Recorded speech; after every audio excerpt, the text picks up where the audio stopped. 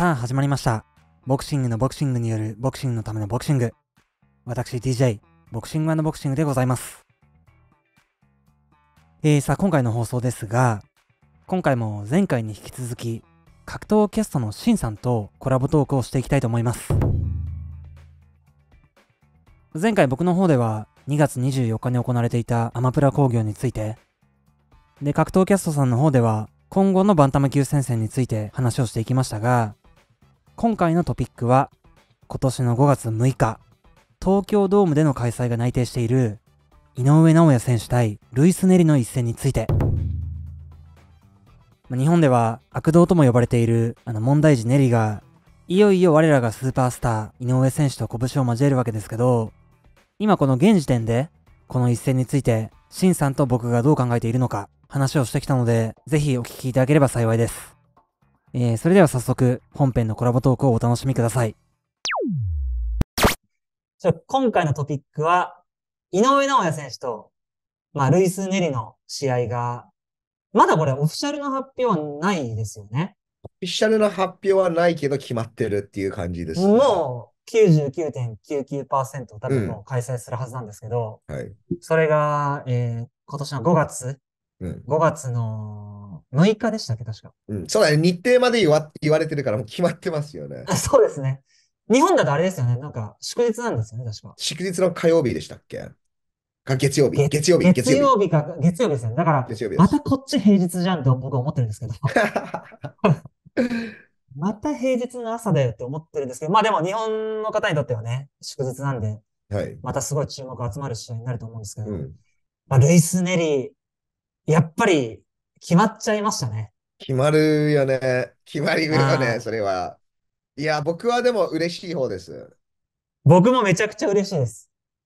もうなんなら何年も前から、まあ多分 C さんもそうですけど、こういう格闘技、ボクシング、フォずっとフォローしてる、特に YouTuber の人とかは、多分みんなルイス・ネリとの試合見たいって言ってたと思うんですよ。はい。でようやくそれが実現したなっていう。なんか僕、本当 YouTube 始めた頃に、井上選手とルイス・ネリが戦ったらみたいな動画確か作ってたんで、なんかその頃から考えるとすごい感慨深いものがあるな。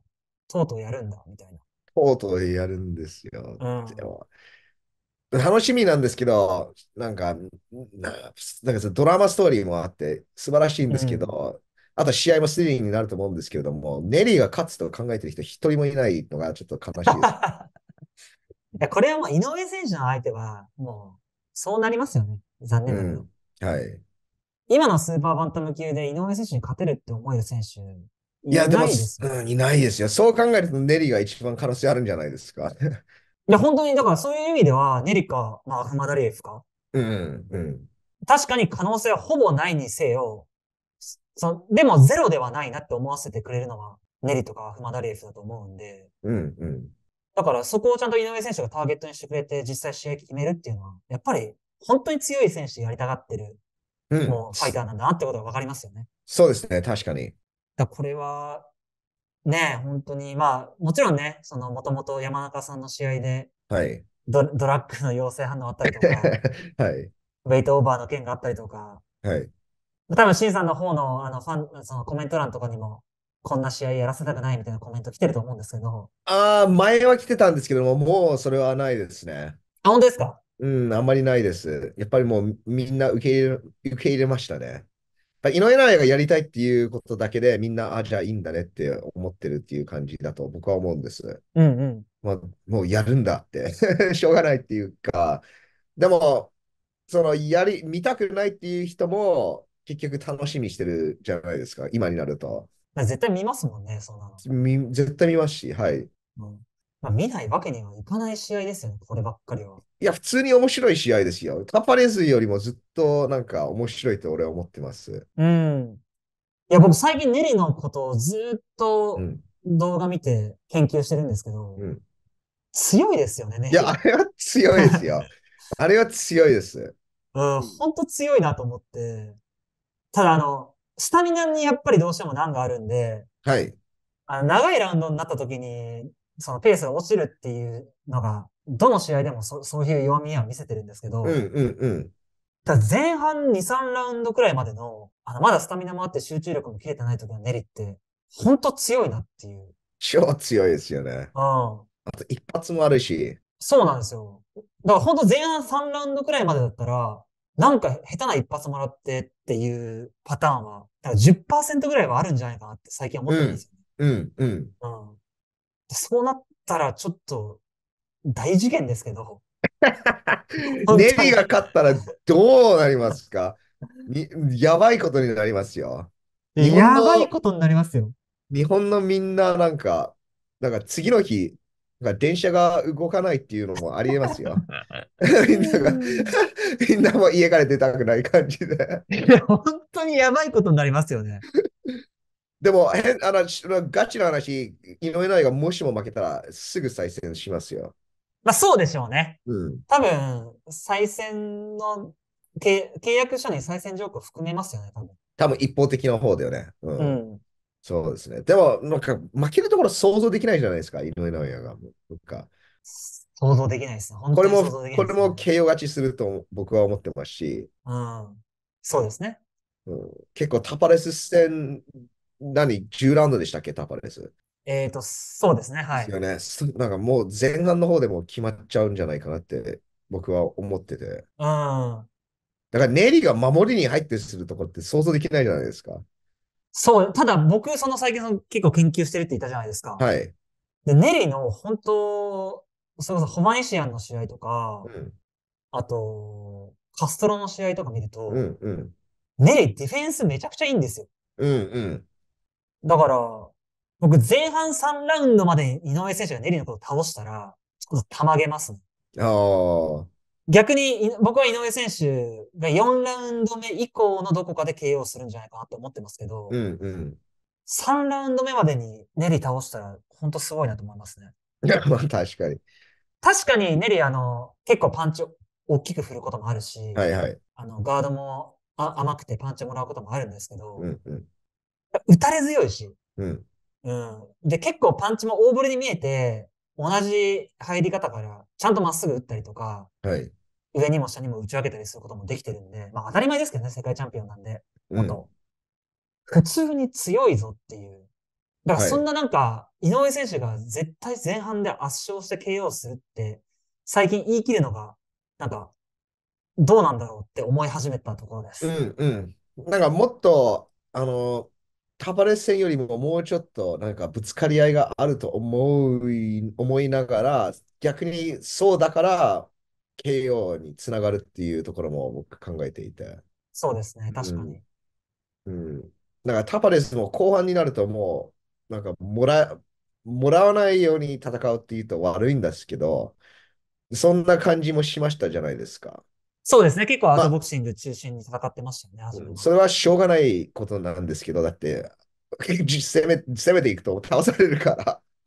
そうですね。うん。しょうがないけど、ネリーがそういうふうに戦うのかなっていう、戦えるのかっていう。そうですね。ただ僕結構ネリの方が、まあ、タパレスほどかはわからないけど、意外とネリの方がアウトボクシングする場面も多くなるんじゃないかなと思ってるんですよ。うん、うん。まあ、確かにアウトボクシングできるかもしれないけど、なんかそのダメージの吸収力がタパレスほどではないって僕も思ってるんですよ。ああ、なるほど。もっと早く削られるっていうのが想像できて。うん。まあ、フィゲロアにやっぱボディで倒されたイメージが強いんで、うん。あのイメージがあるとやっぱ井上選手のボディアタックがどこかで、うん、だってタパレスってタフじゃないですか。あの、アフマダイクの試合も見るとそうなんですけど。そうですね。タフですね、うんめちゃくちゃ。うん。なネリーももちろんタフなんですけど、タパレスほどではないって言うと、あれなんですけど、そういう印象があって、うん。ダメージがもっと早く重なっていくんじゃないかなって思ってるんです。そうです。じゃあタパレスよりは早いラウンドでの KO。では僕は思ってます。はい。あそうですね。僕も、イメージ的には4から7の間ぐらいのイメージなんですけど、うん。そうですね。確かに。判定まで行くことはなんかない気はしますよね。判定まで行くと、それだけで日本のみんなは残念と思ってしまいますね。ネリーだから。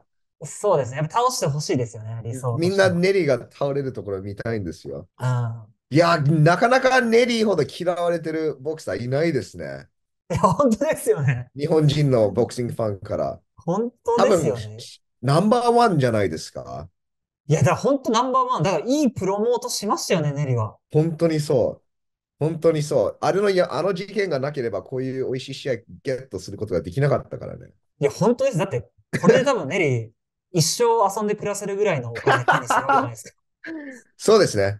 本当にそうです。だからやっぱ、ああいう、まあだからああいうことすべきだとは言いませんけど、はい。でもなんかその、セルフプロモーションの方法っていろいろあるんだなって思っちゃいますね。んうん。でも、あとやっぱり大事なものは持ってるから、それは実力。実際強いから、そうネリは。うん。いや、本当にそうですよね。うんいや、カストロとホマネシアンに勝ち切るって本当すごい、ちょっとびっくりしましたもん、僕。いフォニシャンの試合すごかったですね。や、すごいですよ。本当にすごいと思った。だから、まあ、本当に実力でここまで上がってきてくれたし、うん。実際今回、WBC のだって1位がネリだから指名挑戦試合じゃないですか、これ。はい。だから、なんか、ただ話題になるから組んだカードっていうよりかは、うんうんうん。本当にちゃんとしたボクシングのルールにのっとって挑戦権を得た選手が試合をしに来るってだけですかそうですね。ボクシングはただ話題になるから組むっていうスポーツではないですからね。ら。うん。で、その上でこれだけ話題になる相手でいてくれたっていうのは、はい。ボクシングファンとしてはすごい嬉しいですけどね。そうですね。僕は、僕はこの試合が実現するっていうことで嬉しいです。だって、盛り上がるじゃないですか。で僕たちボクシング、まあ、ボクシングメディアっていうよりもその格闘技メディアだから、盛り上がる試合はい一番いいんですよ。うん。いや、あとそうですね。普通、普通に自分も見たいし。そうですね。あとは、その、モチベーションの高い井上選手が見れるっていうのも嬉しいじゃないですか。そうですね。そうですね。確かに。やっぱモチベーション高い時の井上選手ってやっぱ、とんでもないことをするイメージがあるんで、うんうん。だから今回もとんでもないことをしてくれるんじゃないかなっていうのと、あと東京ドームのそのボクシングイベントっていうのが見れるっていうのが嬉しいですね。それすごいですね。うん。やっぱりその、実際自分の目で東京ドームのボクシングって見れたことないんで、うん。それが、まあもちろんテレビ画面でしか僕は見れないですけど、はい。それをね、どんな雰囲気なんだろうっていうのはワクワクしますよね。ああ、そう言うとやっぱり会場に行きたくなるんだけど、僕はあーテレビで見ます。え、でもね、シンさんなんか、結局、知り合いの方からなんかチケットとかもらえそうな気しますけどね。チケットもらったら困るね。配信、配信、配信したいよ。え、でも、その場で、なんか、iPhone とかできないんですか？ああ、できるけど、クオリティがクソですね。あそうです。でも、まあ、そうなっちゃいますね。確かにね。音と音声とかも、結局誰も見ないから、あー誰も見ないって言ったらあれなんですけど、今出してるクオリティとあまりにも違いすぎてダメですね。そうですね。そう。でも、なんか、結局こうが、テレビから見る方が、なんか、一番、なんか、いろいろ見れるじゃないですか。その会場の雰囲気はな、な感じられないんですけれども、実際試合を見るっていうことになると、テレビが一番いい。そうですね。わかりやすさはテレビが一番いいですよね。うん、うん。いや、僕、日本に住んでたら絶対見に行っちゃいますけどね。はい、はい。そうですね。うん。でも BNB さんはボクシングマニアですもん。僕はボクシング、ボクシングファンで、ボクシングが好きなんです。でも他の格闘技も好きですし、なんて言えばいいでしょう。うんうんうんでもあ、あと、やっぱり BNB さんは、この普通のお仕事をされて、この YouTube が逆に趣味っていうとことじゃないですか。うん。まあ結構、まあ、再生もかなりいって、スポンサーもついてるから、いい、まあ、収入になってると思うんですけど、副業っていう感じになってると思うんですけど、僕は YouTube がメインの仕事ですから、うんうんうん。本当に格闘技を見る、見て、それについて話すのが仕事になってしまったっていうところもあるんです。もちろん好きなんですけど。ああ、そう、確かにそうですね。そう。だか確ら、それをもっといい仕事ができるのは、やっぱりこのテレビから見るっていう方法で、あとすぐ、うんその後すぐ撮影できるっていうのもありますし、そうですね。確ただかに。会場で見るのはもちろんすごいですよ。あのーそのトリプルタイトルマッチ、2月24日のトリプルタイトルマッチも会場で見ることができたんですけども、うん。あれ、あの経験はなかなか、なんか、なんて言えばいいでしょう。できないものですから、それはすごい嬉しいんですけど、自分から行くっていうのはあんまりないですね。本当に友達の応援ぐらいだったら会場まで行く。でも、この試合が見たいっていう感じで行くことはないです。うん、どっかになんか VIP チケットとかもらっちゃいそうな気がしますけどね、もら、もらったら絶対行きますよ。絶対行きますよ。まあでも本当そうですね、ネリ戦、ちょっとこれは、まあ本当にね、YouTube のボクシング配信者もすごい盛り上がるでしょうし、いはい。普通にボクシングが盛り上がりますよ。日本のボや、クシング。本当そうですね。アンダーカードもいい選手がいれば、そこでその選手も注目されることになるんで、うんうんうん。うん。アンダーカードもね、気になりますよね、本当にね。そうですね。そのアンダーカードに天心とかが入れればすごいことになるんですけど、ない、ないんですけど、放送があまりなんか違って、またレミオでやるじゃないですか？うん、そうですねそ。れじゃないですよね。なんかでも、ここまで大きい興行なんだったら、なんか天心選手に来てくれる、来てもらうなんか方法とかありそうな気がしちゃうんですけどね。ああ、まうんあ、Amazon プライムでも放送するっていう感じかな。どうなんでしょう。うんとか、ほその放送の契約を今回1試合に限ってお金払ってレミノに移すかとか、はい。なんかその方法は別にあるじゃないですか。それこそクロスオーバーのマッチメイキングってそのプロモーター間の、うん。やっぱアメリカでも日本でもああるんで、はい。だってボクサーだったらこの試合で、この試合のイベント出たいって思いません？で、絶対出たいですよ。出たいですよね。でも、い井上尚弥のアンダーカードっていうと、まあ結構ほぼ同じメンバーが出るんじゃないですか。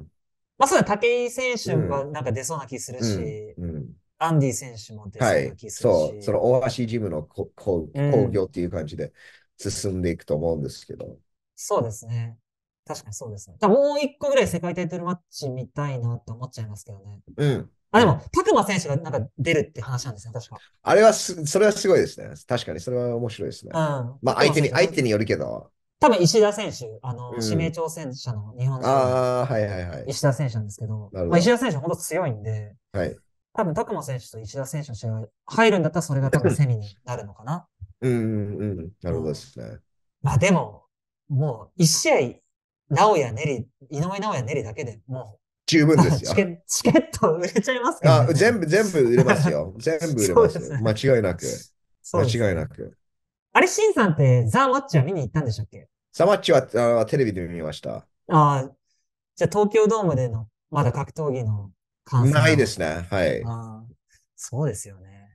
なかなかやんないですもんね。なかなかやんないですよ。でも、俺、なんか、人が大勢いるところあんまり好きじゃなくて。僕もそうなんですけどね。僕もそうですよ。そんな大勢いると逆に行きたくなくなってしまう。確かにね、5万人とかだって入っちゃいますね、東京で。あれ、やばすぎますよ。うん。5万人ってちょっと、格闘技の規模を超えちゃってますよね。すすごいですね。本当に。確かにそう考えるとやばいですよね。なんか、アンソニー・ジョシュアとかの試合って、はい。なんか9万人とか入るイギリスのサッカースタジアムとか使って やったりしてるんですけど、やばいね。それ埋めて、その一番後ろの方で見てるお客さんは、一体何を見てるんだろうっていう感じですよね。まあ結局テレビを見見るんですよ。そうですね。うんまあでも、やっぱあの雰囲気は本当にね、すごいですから、はい。ぜひ、ぜひね、みできるだけ多くの皆さん見に行ってほしいですけど、そうですね。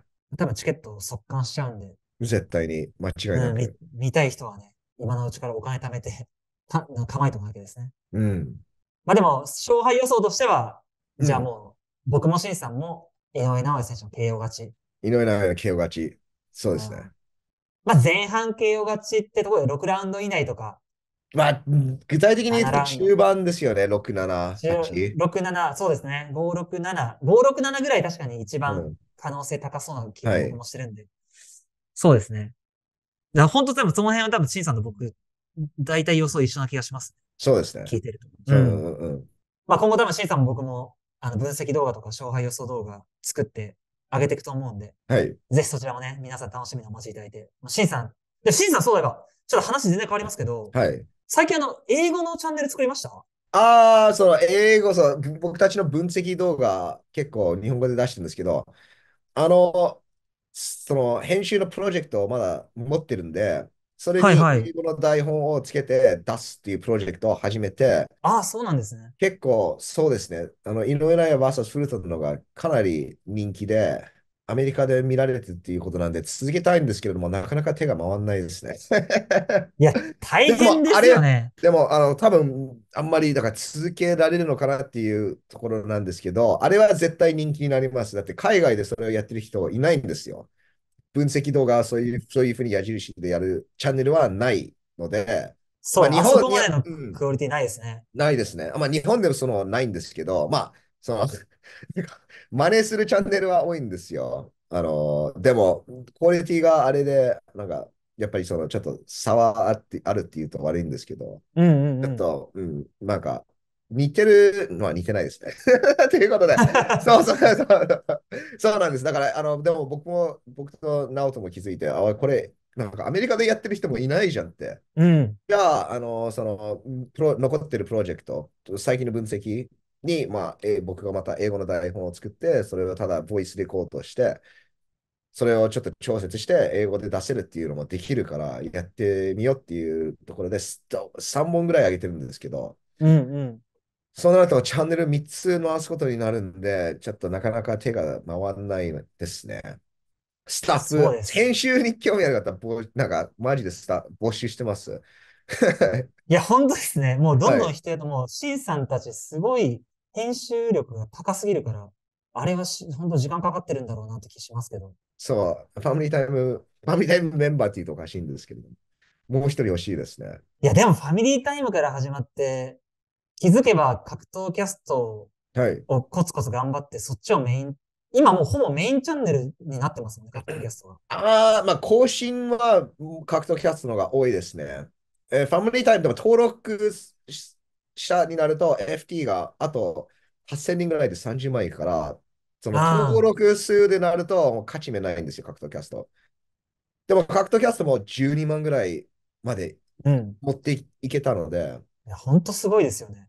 いやいや、すごいっていうことではなく、ただやっぱり BME さんと違ってフルタイムでやってるっていう違いだけだと思うんですけど。いやいや、もう、でも僕もほぼ寝ないでやってるんですよ。だから普通の人はフルタイムぐらいは時間かかっちゃってる気がするんですけど。はいはいはいだ。からまあ、まあ一人でやらなきゃいけないっていうのが僕の場合、そうです結構大変ね。ですけど。一人はやっぱり大変ですね。僕、せめて二人でやってるから、その、なんか自分がうまいところをうまく分けてやっていけてるっていうのが結構強いんですけど、やっぱチームはいいですよね、チームがあるっていうのは。そうですね。でも、やっぱりこういう英語の動画とかも出したいんだったら、ちょっとその作業ができる人が必要ですね。うんうんうん、そうですね。だから、で、ちょっとずつやっぱり習っていって、なんか結構プロの編集者になれると思うんですけど。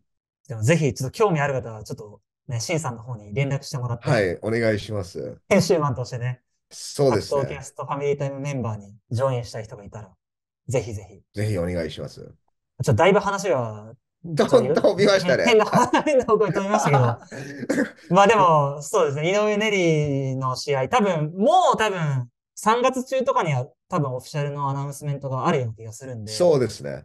それも楽しみにしつつ、はい。ちょっと、今後もね、ちょっとボクシング界盛り上げていきましょう。そうですね。はい。じゃあ今日は本当に長い時間ありがとうございました。いえいえ、こちらこそありがとうございました。またコラボしましょう。はい、お願いします。じゃあ、えっと、前半の、前半の動画とか、今回ちょっと、実は4本分動画を撮ってて、2本2本でシンさんと動画を分け合ってるんですけど、えっと、格闘キャストの方でも、いろいろその、井上選手の発言の話、あ、はい井上選手の発言がアメリカでどういう、はい。えー影響を持ってるかだったりとか、だバンタム級先生の今後の話だったりとか、いろいろしてるんで、格闘キャストの方のチャンネルもチェックしてみてください。えー、それではくお願いしま、すシンさん、今回もありがとうございました。ありがとうございました。失礼します。えー、ということで、これにて今回のコラボトークは終わりとなります。まあ、裏話として、今回のコラボは、僕が住んでいるニューヨーク時間の日曜日の朝方に撮影をしているんですが、まあ実はその同じ日の日曜日の午前3時から、シンさんのコラボとは別に、酒井優太選手のインタビュー撮影をしていて、その酒井選手とのインタビューが終わった直後、朝の6時からシンさんとコラボ撮影。で、それが終わったのが朝9時過ぎという、本当に寝ないで夜通し撮影をしていたわけですよね。で、しかもその前日の土曜日は日本でアマプラ工業があったんで、朝の4時からボクシングを見ていて、で、それ見終わった後は、その試合についての感想動画を作ってましたから、まあ、ほぼ寝ることのできなかった、だいぶ怒涛の週末でしたよね。まあでもすごく楽しいお話がたくさんできたんで、頑張ってよかったなと。まあ今回、シンさんと話をした井上選手対ルイス・ネリの試合も、本当にもう今から待ちきれませんし、まあ、きっとこれからいろんな YouTube チャンネルとか、いろんなメディアが、このネリ戦についてのコンテンツを作っていってくれるでしょうから、それぞれ自分なりにいろんな情報を集めた上で、一緒になって試合当日を目いっぱい楽しみましょうね。まあ、毎度のことながら、シンさん、今回も長い時間お付き合いいただき、本当にありがとうございました。えー、ということで今回の放送はこの辺りで終わりにしていければと思いますが、今回のコラボトークを聞いてみた皆様それぞれのご意見やご感想、まあ、あとは現時点での井上選手対練り戦の皆様の勝敗予想など、この動画のコメント欄にてお聞かせください。えー、それでは今回も最後までご視聴いただき、本当にありがとうございました。よろしければ Twitter、Instagram のフォロー、チャンネル登録やいいね、スーパーサンクスもしていただけると幸いです。えー、ではまた次回の放送でお会いしましょう。